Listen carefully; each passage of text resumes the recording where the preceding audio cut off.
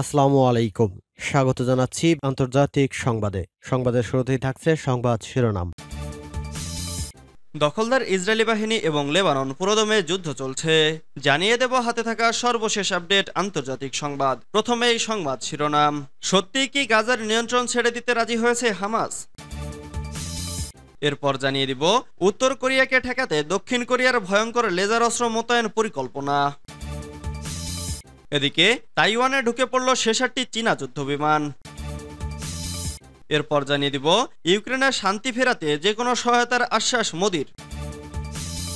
আরও জানিয়ে দিব, সন্ত্রাসীদের সঙ্গে তুমুল গোলাগুলি ক্যাপ্টেন সহ চার পাক সেনা নিহত।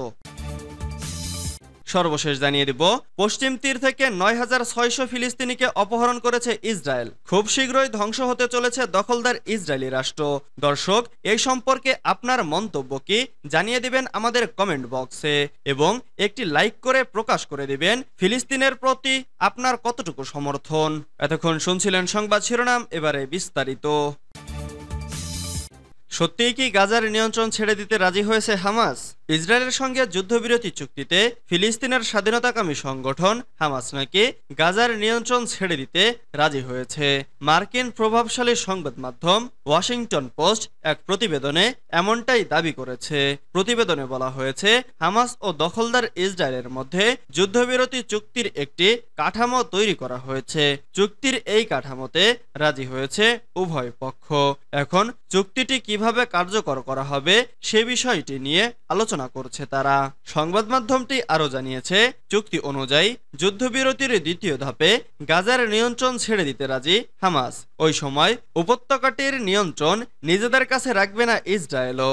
এর বদলে গাজায় প্রতিষ্ঠিত হবে একটি অন্তর্বর্তীকালীন সরকার আর এর নিয়ন্ত্রণে থাকবে ফিলিস্তিনি অথরিটি সমর্থিত বাহিনী।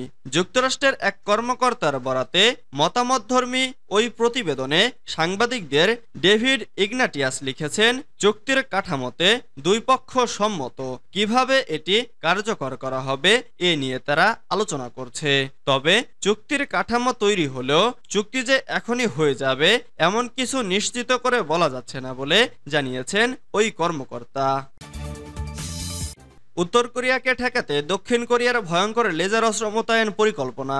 সাতাত্তর বছরের নিয়ম ভেঙে ভয়ঙ্কর অস্ত্র মোতায়েনের পথে হাঁটল দক্ষিণ কোরিয়া। উত্তর কোরিয়ার ড্রোন ভূপাতিত করতেই শিউল ভয়ঙ্কর ধরনের লেজার অস্ত্র মোতায়েন করতে যাচ্ছে।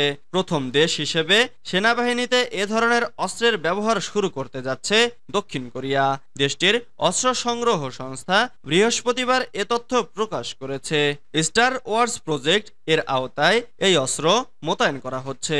দক্ষিণ কোরিয়ার প্রতিরক্ষা বিষয়ক প্রশাসন এক বিবৃতিতে জানিয়েছে, সামরিক বাহিনী হেনহুয়া এরোস্পেস সংস্থার সহায়তার ড্রোন বিধ্বংসী লেজার অস্ত্র তৈরি করেছে।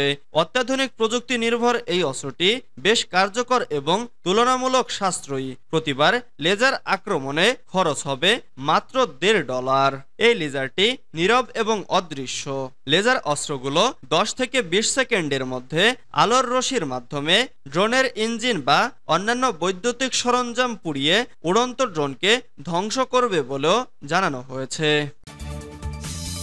তাইওয়ানে ঢুকে পড়ল শেষারটি চীনা যুদ্ধ বিমান একদিনেই তাইওয়ানের আকাশে অনুপ্রবেশ করেছে চীনের শেষারটি যুদ্ধ বিমান তাইওয়ানের প্রতিরক্ষা মন্ত্রণালয় বৃহস্পতিবার জানিয়েছে যে তারা তাদের দ্বীপের চারপাশে চব্বিশ ঘন্টায় শেষারটিটি চীনা সামরিক বিমানের উপস্থিতি শনাক্ত করতে সক্ষম হয়েছে, যা চলতি বছরের সর্বোচ্চ রেকর্ড। বৃহস্পতিবার এগারো জুলাই এএফপির এক প্রতিবেদনে এ তথ্য জানানো হয়েছে। প্রতিবেদনে বলা হয়, মাত্র এক একদিন আগেই তাইওয়ানের কাছাকাছি সামরিক মহড়াও চালিয়েছিল বেইজিং। তার পরদিনই তাইওয়ানের আকাশে অনুপ্রবেশ করেছে চীনের শেষারটিটি যুদ্ধ বিমান বুধবার বেইজিং দাবি করেছিল যে ওই যুদ্ধ বিমান পিএলএ বিমানবাহী রণতরী শানডং এর সঙ্গে অনুশীলনের জন্য পশ্চিম প্রশান্ত সাগরের দিকে যাচ্ছিল। এদিকে বৃহস্পতিবার এক বিবৃতিতে তাইওয়ানের প্রতিরক্ষা মন্ত্রণালয় জানিয়েছে, চব্বিশ ঘন্টায় দ্বীপের আশেপাশে শেষারটিটি পিএলএ যুদ্ধবিমান এবং ষাটটি চীনা জাহাজ শনাক্ত হয়েছে। এর মধ্যে ছাপ্পান্নটি যুদ্ধ বিমান সংবেদনশীল মধ্যরেখা অতিক্রম করেছে। তাইওয়ানের প্রতিরক্ষা মন্ত্রণালয় দাবি করেছে যে তারা পরিস্থিতি নজরে রাখছে এবং এর উপযুক্ত প্রতিক্রিয়া দেখানো হবে। ইউক্রেনে শান্তি ফেরাতে যে কোনো সহায়তার আশ্বাস মোদির। যুদ্ধবিধ্বস্ত ইউক্রেনে শান্তি ফেরাতে ভারত সম্ভাব্য সব ধরনের সহায়তা দিতে প্রস্তুত বলে জানিয়েছেন দেশটির প্রধানমন্ত্রী নরেন্দ্র মোদী। অন্যদিকে, ভারতের প্রধানমন্ত্রীর মস্কো সফরকে নিরাশাজনক ও শান্তি প্রক্রিয়ায় বড় আঘাত বলে মনে করছেন ইউক্রেনের প্রেসিডেন্ট জেলোনস্কি। সংবাদ মাধ্যম এনডিটিভি জানায়, বুধবার দশ জুলাই অস্ট্রিয়ার চ্যান্সেলর কার্ল নোহামারের সঙ্গে এক যৌথ সংবাদ সম্মেলনে কথা বলেন ভারতের প্রধানমন্ত্রী। স্থানীয় সময় মঙ্গলবার নয় জুলাই সন্ধ্যায় নরেন্দ্র মোদী রাশিয়া সফর শেষে অস্ট্রিয়ায় পৌঁছান। সেখানে তিনি দেশটির president Alexander van der Bellen এবং চ্যান্সেলর নোহামারের সঙ্গে বৈঠক করেন। অস্ট্রিয়ার চ্যান্সেলরের সঙ্গে বৈঠকের পর ইউক্রেন যুদ্ধ নিয়ে এক যৌথ বিবৃতিতে মোদি বলেন, আমি আগেও বলেছি, এখন যুদ্ধের সময় নয়।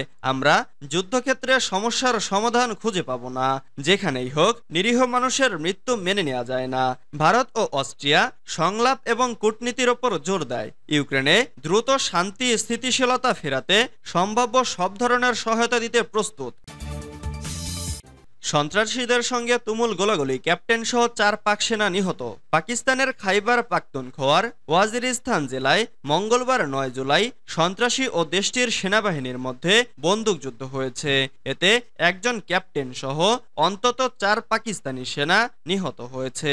পাকিস্তান সামরিক বাহিনীর গণমাধ্যম শাখা আইএসপিআর এর বরাত দিয়ে এই তথ্য জানিয়েছে ডন। আইএসপিআর তাদের বিবৃতিতে বলেছে বন্দুকযুদ্ধে রাওয়ালপিন্ডি জেলার বাসিন্দা চব্বিশ বছর বয়সী ক্যাপ্টেন মোহাম্মদ ওসামা বিন শহীদ হয়েছেন। পাকিস্তানের মিডিয়া উইং জানিয়েছে, মোহাম্মদ ওসামা সেনাদের নেতৃত্ব দেন এবং তিনি বীরের মতো লড়াই করে শহীদ হয়েছেন। নিহত সেনাদের প্রতি শ্রদ্ধা জানিয়ে পাকিস্তানের প্রধানমন্ত্রী শেহবাজ শরীফ বলেছেন সন্ত্রাসীদের নির্মূল না করা পর্যন্ত সন্ত্রাসবাদের বিরুদ্ধে যুদ্ধ চলবে।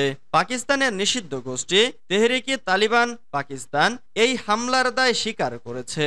সাম্প্রতিক বছরগুলোতে পাকিস্তানের নিরাপত্তা বাহিনীর ওপর সন্ত্রাসী হামলার পরিমাণ অনেক বেড়েছে। বিশেষ করে দেশটির খাইবার পাখতুনখোয়া প্রদেশে। পশ্চিম তীর থেকে নয় হাজার ছয়শো ফিলিস্তিনিকে অপহরণ করেছে ইসরায়েল। ফিলিস্তিনের অধিকৃত পশ্চিম তীর এবং পূর্ব জেরুজালেম বা আলকোদ শহর থেকে গত নয় মাসে নয় হাজার ছয়শো ফিলিস্তিনিকে অপহরণ করেছে ইসরায়েল। ফিলিস্তিনের বন্দি বিষয়ক কমিশন, ফিলিস্তিনি prisoners club, Addameer prisoners support এবং হিউম্যান রাইটস অ্যাসোসিয়েশন বুধবার এ তথ্য জানিয়েছে। সংগঠনগুলোর বিবৃতিতে বলা হয়েছে, অপহৃত ফিলিস্তিনি নাগরিকদের মধ্যে তিনশত পঁচিশ জন নারী, ছয়শত সত্তরটি শিশু এবং আটাশি জন সাংবাদিক রয়েছেন। পাশাপাশি অক্টোবর মাসের প্রথম দিক থেকে ফিলিস্তিনিদের বিরুদ্ধে সাড়ে সাত হাজার কথিত প্রশাসনিক আটকাদেশ জারি করেছে ইসরায়েল। বহু সংখ্যক নারী ও শিশুর বিরুদ্ধে এই আটকাদেশ জারি করা হয়। ফিলিস্তিনিদের বিরুদ্ধে ইসরায়েল যেসব অমানবিক নীতি চর্চা করে আসছে, তার মধ্যে এই প্রশাসনিক আটকাদেশ অন্যতম। এই আটকাদেশের মাধ্যমে ইসরায়েল ফিলিস্তিনিদের অনির্দিষ্টকালের জন্য সুনির্দিষ্ট কোনো অভিযোগ ছাড়াই কারাগারে আটক রাখতে পারে। এ সময় ফিলিস্তিনিরা কোনো আইনজীবীও নিয়োগ দিতে পারবে না।